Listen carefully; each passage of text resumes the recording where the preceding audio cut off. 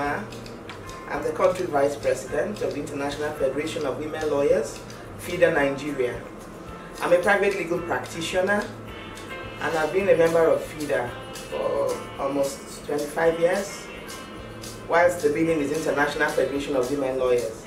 It's Federación Internacional de Abogadas. That's the Spanish word for FIDA because it was formed by a group of Spanish women several years ago who were called to the practice of law and they felt that um, they should assist indigent women.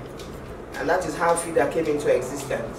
In Nigeria, we are 53 years old and um, currently we have 33 state branches in the Federal Republic of Nigeria. And in all those states, we have free walking legal clinics where um, indigent women can walk in and get free legal advice, uh, representation in court, counseling, and even sensitization on their rights.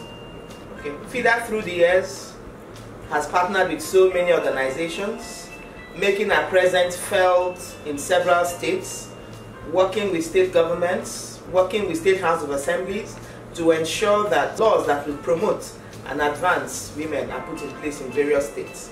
FIDA has capitalized on the various international treaties and protocols, international platforms, to key into um, the world's assessment of what the life of women should be.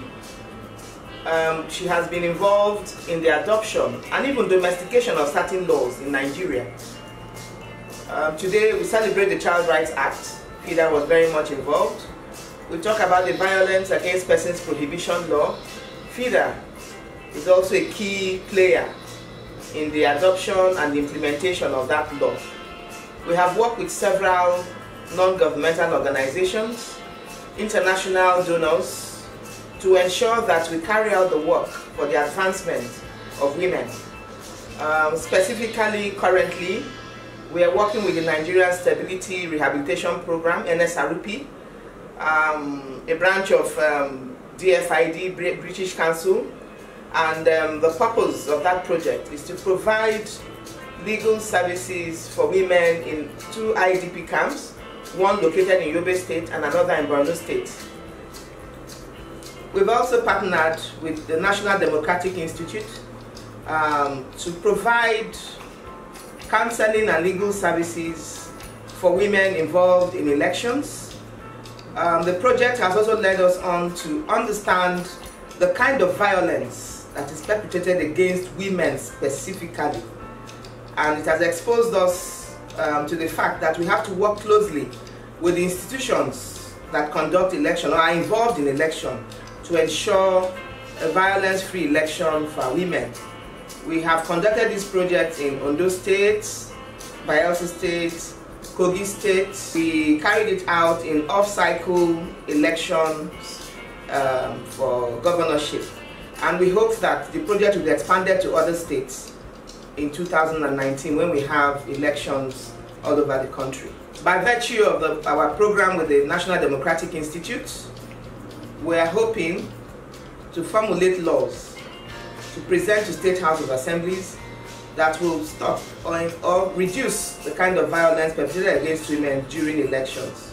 We also have collaborations with the French Embassy and the Australian Embassy and these two embassies have provided funds for FIDA Nigeria to provide free legal services, court representation, counseling for women that have been violated in their homes, especially domestic violence. And so they funded this project in about 12 states of the Federal Republic of Nigeria. And FIDA has concluded these two projects and we have our reports and analyses. Some of the cases went through court, some were settled whilst we were in court, and um, some are still ongoing. We also um, organize programs to build the capacity of women to participate in governance, to participate in developmental projects. We build their capacity to ensure that they are able to focus on their well-being and their development. We teach them also how to multitask, especially in the changing world of work.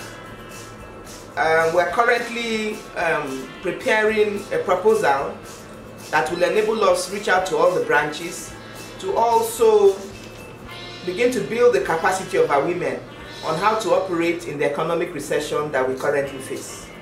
of the International Federation of Women River State Branch, we present this check of 45,000 naira in support of the children's fees.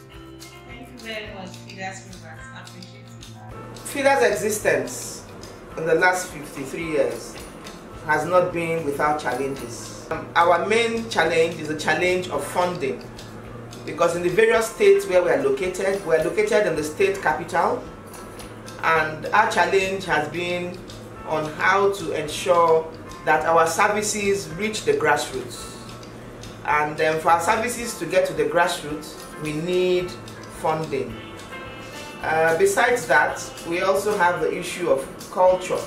In some states, we've been able to ensure the adoption of certain laws, but the testing of those laws in the courts have not been forthcoming because of the culture of silence, which the Nigerian woman wears like a toga. Um, we need to break that barrier, and so we know that we need to do a lot more sensitization than we have done to ensure that we build the confidence of the Nigerian woman um, to understand that whatever laws are in place should be exploited and FIDA will provide necessary legal services. FIDA Nigeria has a lot of prospects. We have worked with several organizations. We have the capacity to assist women positively. We have the strength in terms of numbers. Currently, we have a membership of 2,500 female lawyers. We have worked with several agencies um, carrying out our projects in line with the memorandum of understanding and so we know that in future we'll do much better than we're doing today. It is on this note, in line with our achievements, that FIDA Nigeria is holding its first ever session at the Commission on the Status of Women in the United Nations.